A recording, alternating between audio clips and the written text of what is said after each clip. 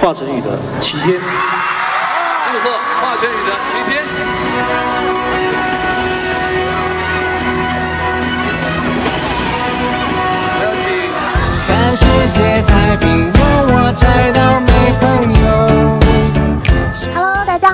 是潘潘。在大多数网友的固有印象里，颁奖典礼通常都是一个严肃的且庄重的场合。但随着时代的发展，很多九零后、零零后的偶像逐渐在娱乐圈占据了一席之地。慢慢的，颁奖典礼开始变得轻松有趣了起来，甚至有时候还闹出了不少乌龙，搞得台下的嘉宾笑成一片。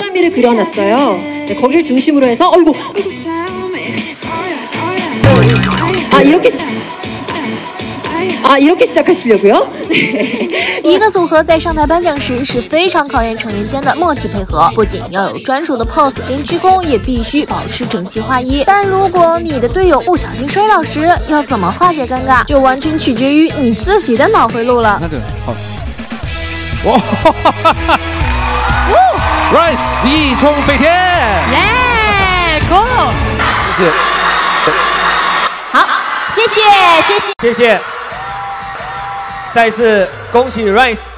那董又霖则是一位曾经在 GQ 十周年上让人看了难忘的尴尬主持红极一时，时不时冒出一句冷笑话和念稿时的频繁出错，简直就是一个大型的车祸现场。我看着都觉得头上都要冒青烟了。不仅抢了真正的主持人何炅的风头，还被前辈们当场吐槽没做功课。网友们也纷纷留言，错这么多，我都觉得他是故意的。但是我觉得能在台上这么放得开，这种主持人还是真有点少见。舞台是他始终魅力无死无舞台是舞台，没事。新锐演员屈楚萧是吧？哇，好帅！在风中有朵云做的云，哦，在风中有朵雨做的云，首次首次一台车差三十一个人啊，违规。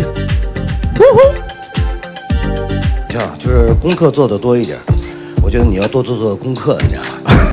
你在诶，下一张没给我。我妈还说想尝试剪你这样的头发，但是她现在还在留，还没留出来。哇！我怎么发出这种声音？呃，拿捏一个角色，其实 你这声音很容易笑场，不好意思。前两天去配音，真的假的？注意身体。不过也不是只有新生代艺人们放得开，老戏骨们皮起来也会有完全出人意料啊！当黄磊和陶虹一起上台颁奖时，正牌老公徐峥却被黄磊调侃成了伴郎，当然徐峥也立马反击回去，直接挽着吴京甜蜜的上台，几人仿佛上演一出小品，瞬间活跃了紧张的气氛。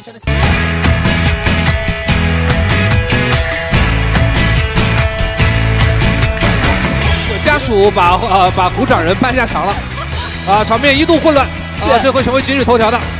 这样的一个重要的一个仪式啊，谢谢我的伴郎徐峥啊。你你习惯这样介绍他吗？平时在家也是这么叫的。啊，好嘞。